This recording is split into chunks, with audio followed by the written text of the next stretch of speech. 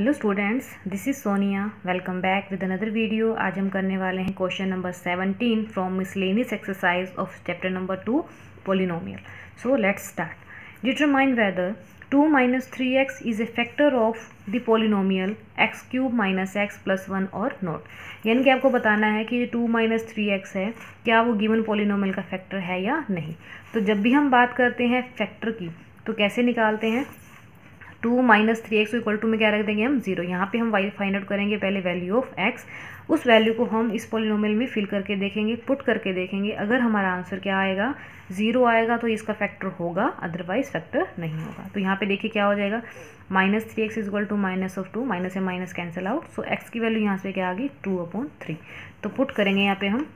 Put x is equal to two upon three. तो देखिए यहाँ पे क्या आएगा? टू अपॉन थ्री की पावर क्या आ जाएगी? Three minus two upon three and plus में वन। सोल्व करेंगे। टू क्यूब का मतलब क्या हो जाएगा? एट। एंड थ्री क्यूब का मतलब twenty seven. Minus two upon three plus one. अब देखिए, वैसे साफ़ ही दिखाई दे रहा है कि इक्वल टू ज़ीरो कहीं से भी नहीं बनेगा। फिर भी हम इसका एक बार एल्सियम ले लेते हैं। तो ये कितना आ जाएगा? Twenty seven.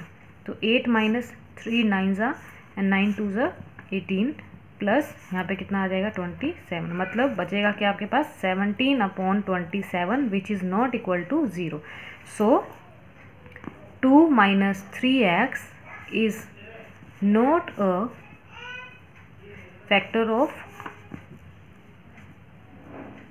polynomial x cube minus x plus 1 clear? So this was your question number 17 from your miscellaneous exercise and do watch my next video homework questions. Thank you and bye bye for now